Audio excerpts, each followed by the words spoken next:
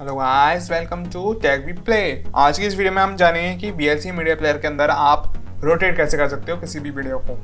तो वीडियो का एंड तक देखना, जब तक देखो लोगो तो अभी मैंने करंटली BLC मीडिया प्लेयर के अंदर एक वीडियो ओपन करी हुई है, ठीक है ना? ये मान लो कोई उल्टी फुल्टी वीडियो होती और आपको रोटेट करनी पड़ती तो आपको क्या करना पड़ेगा? टूल्स में जाना है अफेक्ट एंड फ़िल्टर में जाना है, ठीक है?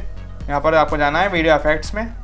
वीडियो इफ़ेक्ट जैसे आ जाएगा तो आपको यहाँ पर दिखेगा रोटेट का ऑप्शन तो रोटेट पे क्लिक कर दो।